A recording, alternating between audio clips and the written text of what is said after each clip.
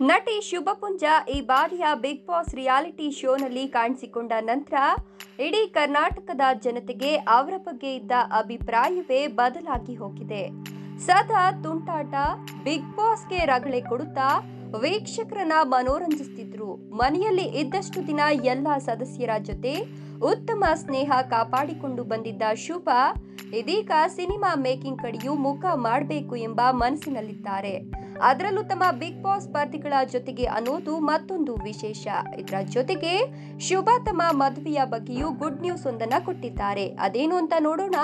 ಅದಕ್ಕೂ ಮೊದಲು ನೀವು ಕೂಡ ಬಿಗ್ ಬಾಸ್ ಹಾಗೂ ಶುಭಪುಂಜ ಅವರ ಅಭಿಮಾನಿಯಾಗಿದ್ರೆ ಈ ವಿಡಿಯೋಗೊಂದು ಲೈಕ್ ಕೊಡಿ ಹಾಗೂ ನೀವೇನು ನಮ್ಮ ಚಾನಲ್ ಅನ್ನ ಸಬ್ಸ್ಕ್ರೈಬ್ ಮಾಡಿಲ್ಲ ಅಂದ್ರೆ ತಕ್ಷಣ ವಿಡಿಯೋ ಕೆಳಗಿನ ಸಬ್ಸ್ಕ್ರೈಬ್ ಬಟನ್ ಪ್ರೆಸ್ ಮಾಡಿ. ಹೌದು ಬಿಗ್ ಬಿ ಮನೆಯಲ್ಲಿ ಶುಭಾಗೆ ಅತಿ ಹೆಚ್ಚು ಆತ್ಮೀಯರಾಗಿದ್ದಿದ್ದು ನಿಧಿ ಸುಬ್ಬಯ್ಯ, ರಾಜೀವ್ ಮತ್ತು ಲ್ಯಾಗ್ ಮಂಜು. ನಿಧಿ ಜೊತೆ ಎಷ್ಟೇ ಕಿತ್ತಾಡಿದ್ರು ಕೋಪ ಮಾಡಿಕೊಂಡ್ರು ಇಬ್ಬರು ಕೊನೆಗೆ ಒಟ್ಟಿಗೆ ಮಲಗ್ತಿದ್ರು. ದಿನವಿಡೀ ಒಟ್ಟಿಗೆ ಇಲ್ದಿದ್ರು ಏನಾದ್ರೂ ಕಷ್ಟ ಎದುರಾದ್ರೆ, ದುಃಖದಲ್ಲಿದ್ರೆ ಒಟ್ಟಿಗೆ ಇದ್ದು ಒಬ್ಬರಿಗೊಬ್ರು ಸಮಾಧಾನ ಮಾಡ್ಕೊಳ್ತಿದ್ರು.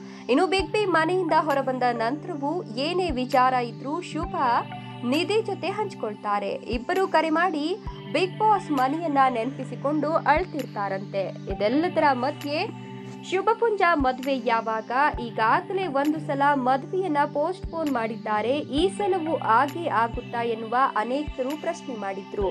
ಇದರ ಬಗ್ಗೆ ಮಾತನಾಡಿರುವ ಶುಭ ಕೊರೋನಾ ಪ್ಯಾಂಡಮಿಕ್ ಕಡಿಮೆ ಆದ ಮೇಲೆ ಮದುವೆ ಬಗ್ಗೆ ಚರ್ಚೆ ಮಾಡ್ತೇನೆ. ಈಗಾಗಲೇ ಒಂದು ಸಲ ಮದುವೆಯನ್ನ ಮುಂದೂಡಲಾಗಿದೆ. ಈ ಸಲ ಅವರೇ ನಿರ್ಧಾರ ತೆಗೆದುಕೊಳ್ಳಲು ಬಿಡ್ತೀನಿ.